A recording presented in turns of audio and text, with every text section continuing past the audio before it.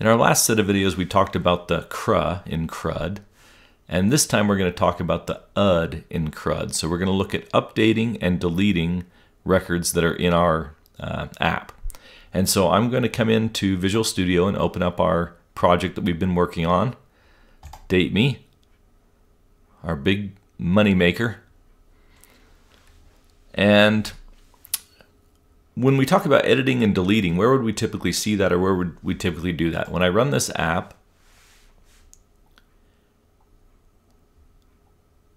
and I go to the wait list, a lot of times what we'll see is buttons out here on the right where it says edit and then delete. And so we can go put that uh, functionality in there on each of these rows so that if I want to edit Michael Bluth's record, I have that ability to edit or delete. And so Let's go into our uh, waitlist.cshtml file. And I'll just add in a couple of columns here at the end. So a column, and it's going to be a, an A tag. And the A tag is going to be edit.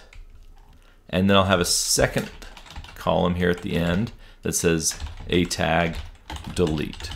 All right, so currently those will just look like links, and so it's probably best to make them a class equals button and um, so class equals button.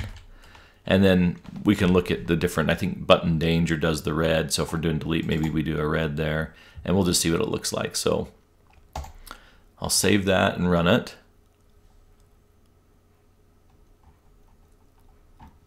And now when we run this we'll have out to the right here these things that look absolutely nothing like a button All right, but they are. So it's getting the, this is where my CSS, uh, so this should be a button, button danger, and then, uh, what is this? Button, button, uh, I don't know what.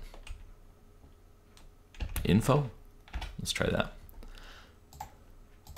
Very, very weak in my CSS skills as we've discussed.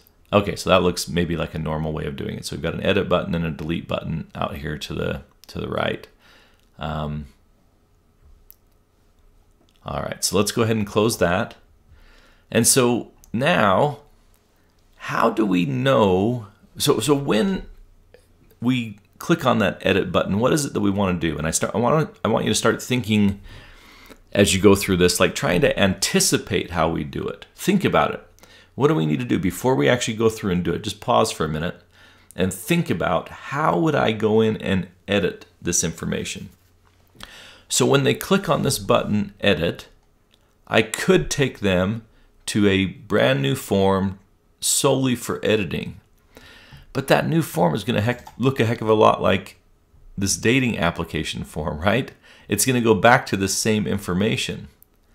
And so can we just send them on edit to this form, and we obviously can. So we can put in here an action. So I can come in and say the ASP action or ASP controller is equal to home. Let's make sure we get them to the right controller because eventually we're going to have multiple controllers and make sure you spell controller right.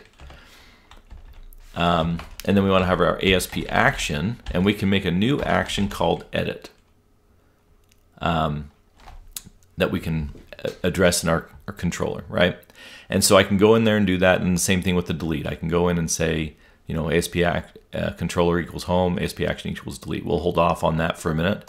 But on our edit, now what I'm going to need is in my home controller to create a new action. So public iAction result, and I'm going to call it edit. So on the edit, what is it that I want to do? Where do I want to go? when I when I click on the edit. And I just got done saying we can send them on an edit to the dating application form. And so this is where we would say something like return view, but in the in the parentheses this time instead of just leaving it blank and letting it send it to the view associated with the same name of the action, we can say what I want to do is go to the dating application. All right. So, excuse me. So we we uh, run the app now, and when I click on this edit button, then it should send me, if we're doing things right, to the dating application. Now we're going to have a problem here because the dating application is looking for a view bag full of majors to be able to load up the majors. And you're saying, well, wait, I, we did that, right? Well, we did it in the action of um, dating or uh, yeah, dating application on the HTTP GET. We loaded up the majors and passed it down to that view. But that only exists, notice the braces, that only exists in that dating application on the get when we're going there, right? In this case, we're going to edit and then we're calling the dating application. We haven't, um, we're not uh, loading up, we're not going to this action. We're going to the view. So this edit is not going to take us to this action. Now there is something we call uh, redirect to action and we can send them to the dating application action and then it would load up these view bag majors.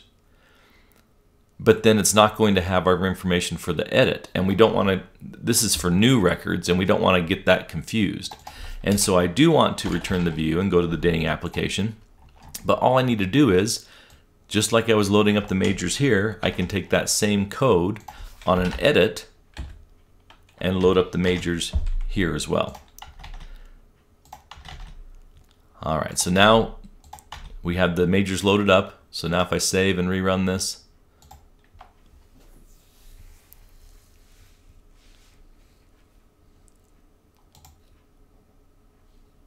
then when I click on edit, it will take us to the dating application.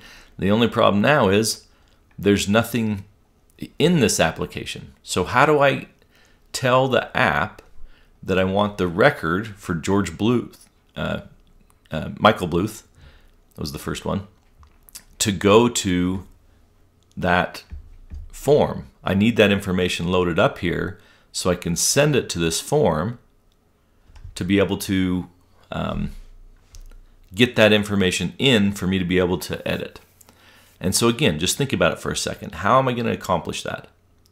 Just pause the video, wait a second, and think about how am I going to accomplish that? How am I going to figure out which record it is and then pass that record in? All right, just looking at the time, I think this will work better starting in a new video. So we'll go ahead and end this one there. Spencer out.